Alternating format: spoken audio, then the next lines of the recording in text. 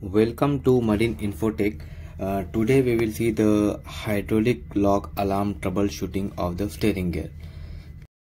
The hydraulic lock alarms means steering gear doesn't have any movement. It is uh, hydro hydraulically locked.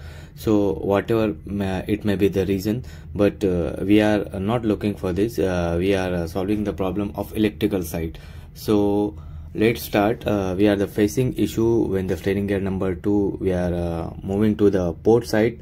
Uh, it is always coming the alarm of steering gear lock. The rudder moment is okay. Now we will see the electrical part. So let's start.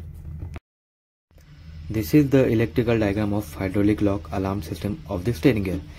Here uh, you can see two proximity switches one for port side uh, rudder moment detection and uh, one for starboard side rudder moment detection.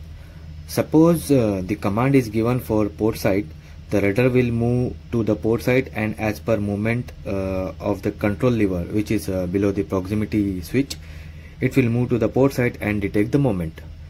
Uh, if the moment is not detected by the sensor within the set time, in the diagram it is set at 6 seconds, uh, it will give an hydraulic lock alarm. So whenever the uh, sensor detect the port side or starboard side moment, the normally open NO contact of the sensor will change to the NC contact and uh, active the relay.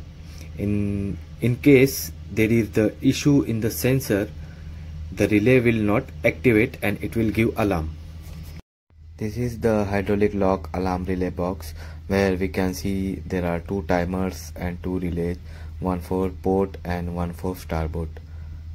Whenever the sensor uh, detect the rudder moment uh, the sensor light will glow. Now the moment is uh, given for starboard side and we can see the uh, light is glowing and we are, now we have given the moment for port side and the light is not glowing. So the basically the issue with the sensor. Now we have uh, the new sensor and we will change. This is 12 to 20 12 to 24 uh, volt DC 200 milliamps.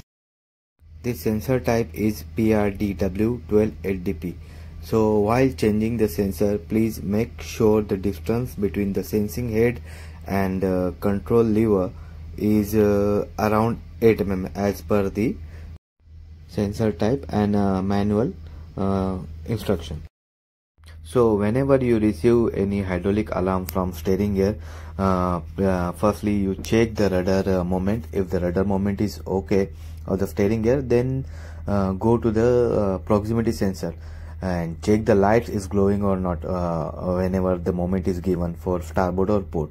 If the light is okay for both the sensor then um, it might be alarm is coming due to defective um, relay in our case uh, the issue was with port side proximity sensor steering gear number 2 uh, now comes to the testing part of the hydraulic lock alarm. Uh, take uh, any non-metallic uh, material like wooden piece and uh, place between the proximity sensor and the control lever. If the distance distance between the sensor and control lever around 10 mm then take wooden piece uh, around seven, 6 to 7 uh, mm and give command for port or starboard and you will get hydraulic lock alarm. After changing the proximity sensor we can see the relays activating for both port and starboard side. I hope so you understand a little bit uh, if you have any doubt please let me know in comment section and uh, please do subscribe like share uh, my videos. If you want to know any other machineries please do comment below. Thank you so much